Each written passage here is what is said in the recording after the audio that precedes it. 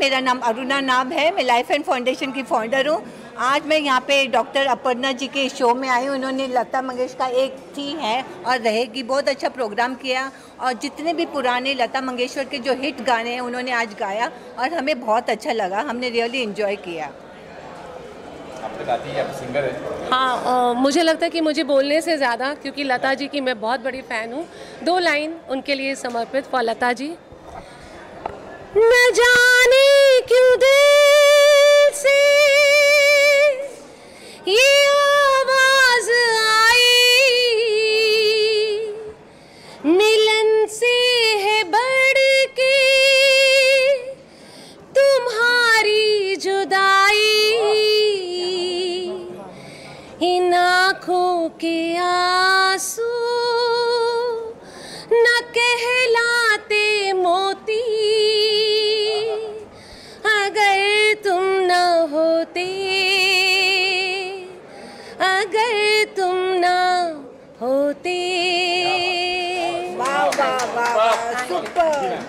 या सबको मेरा प्यार भरा नमस्कार। मैं नीता देसाई को founder of life and foundations मैं डॉक्टर अपर्णा को दिल से धन्यवाद देना चाहती हूँ कि उन्होंने जो अनमोल नगमे गाए हैं स्टेज पे, जो हमने सुने नहीं थे कभी, मैं उनसे दिल से धन्यवाद देती और मैं बहुत आज खुश हूँ यहाँ। आप नमस्कार दोस्तों, मेरा नाम डॉक्टर भारती छावरिया है। मैं fashion designer label nine figures और सोशल एक्टिविस्ट हूँ। आज की शाम के लिए मैं पूरी तरीके से स्पीचलेस हूँ। एक थी और रहेगी।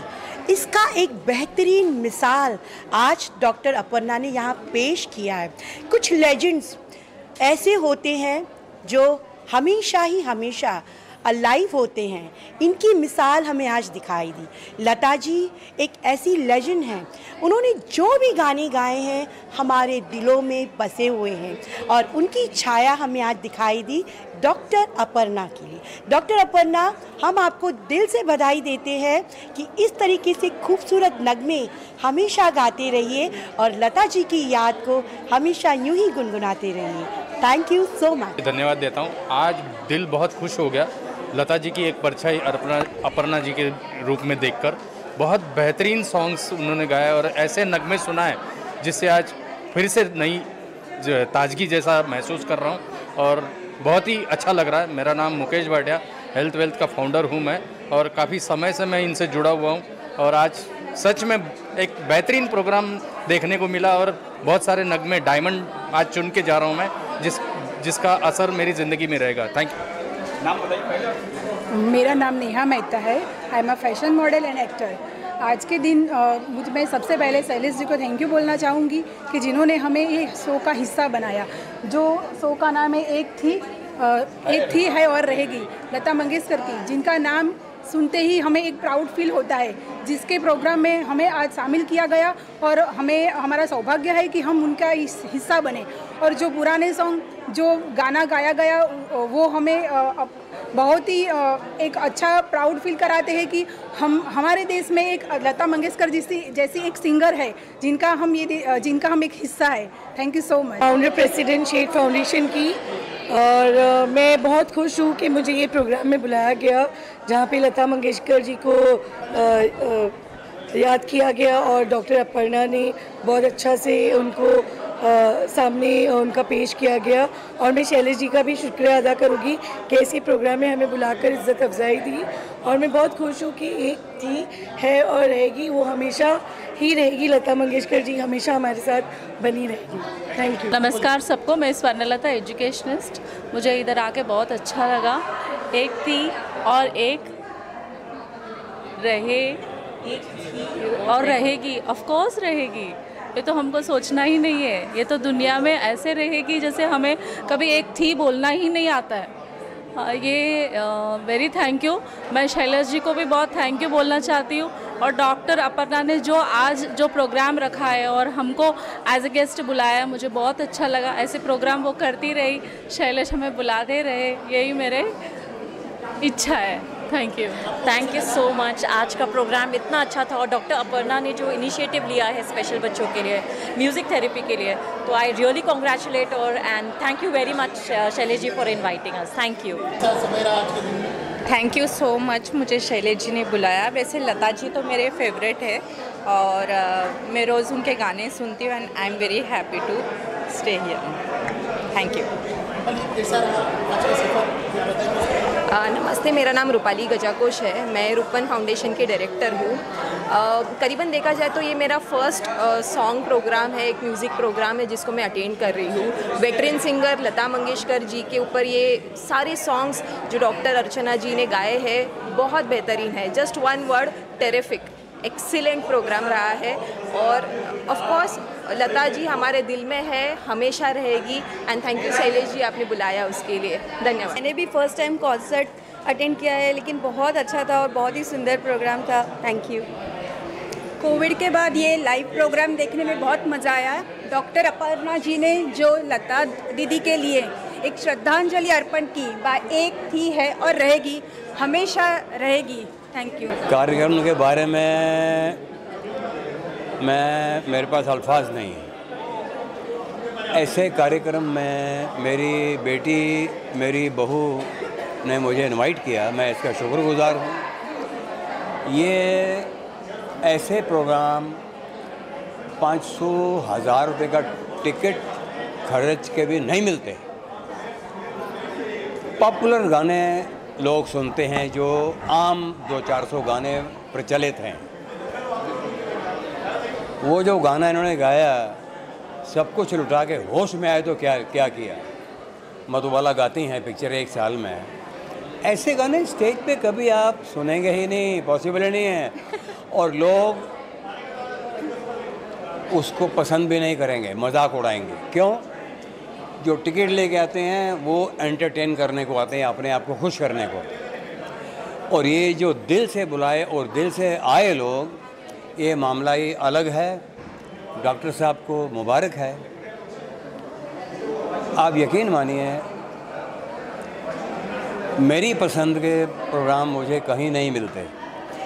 इसीलिए मैं अपने घर में खुश हूँ। मैं अपने घर में। सफल हुए सर आप सफल रहा कि आप यहाँ आके वाकई अच्छा देखा बिल्कुल इतना अच्छा देखा कि मैंने कहा पाँच सौ रुपये का टिकट लेके भी वो गाने नहीं मिलते थे।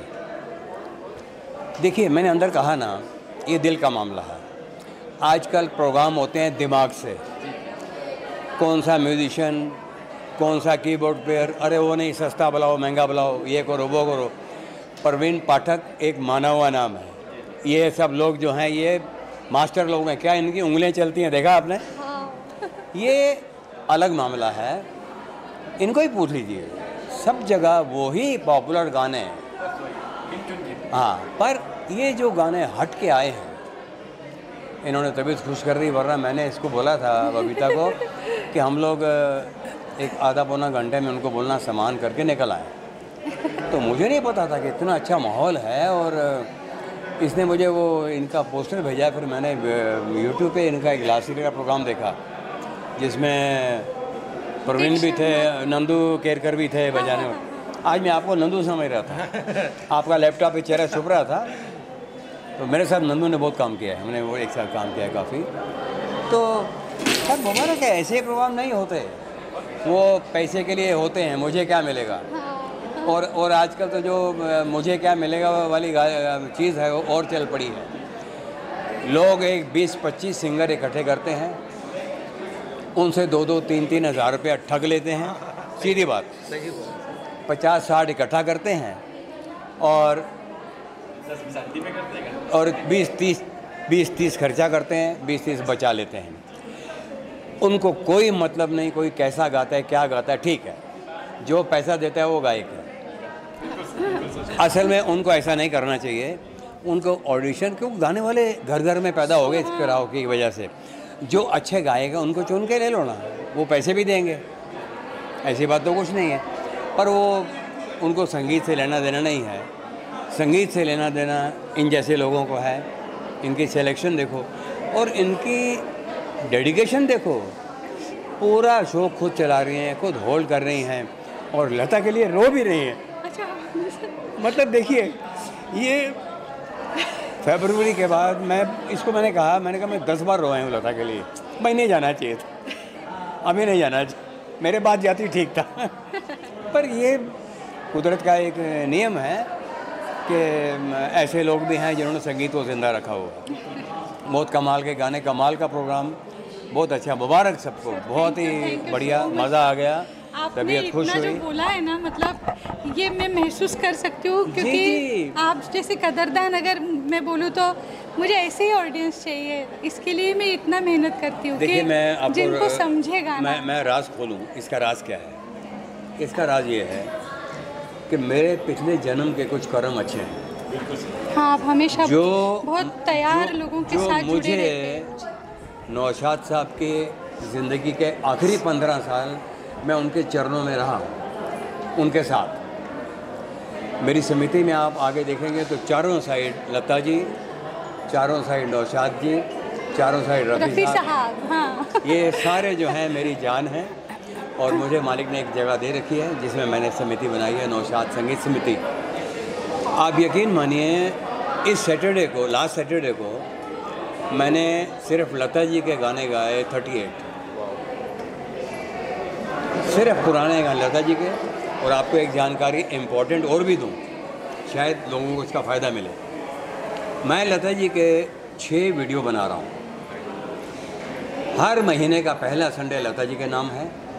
वो वीडियो पाँच बजे प्रीमियर यूट्यूब पे भी है और हमारे यहाँ भी है।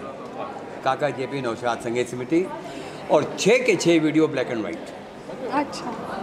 आज के दौर में। और कोई वीडियो चार पाँच घंटे से कम का नहीं है। फिर भी लोग नहीं यूट्यूब पे है ना। हाँ। वो तो किताब जिसको जितना टाइम मिले उतना हाँ, देखिए। और पूरा देखना है तो संडे चार बजे हमारे यहाँ पधारिए। अच्छा अच्छा। और गाना है सैटरडे को आइए। हमारे यहाँ वही गाने होते हैं जो मैडम ने गाए। तो मैं आपको बताती हूँ। मैं बहुत थोड़ी सी आ, कम शब्दों में एक अंदर की बात बता रही हूँ। मुझे हुआ था कोविड। थोड़ा दो दिन पहले लता जी को हुआ था, बाद में मुझे हुआ तो मैंने सोचा मैं फटाफट गाना लिखती हूँ, उनको ठीक हो जाने तक मैं भी ठीक हो जाऊँगी, जाके सुना दूँगी।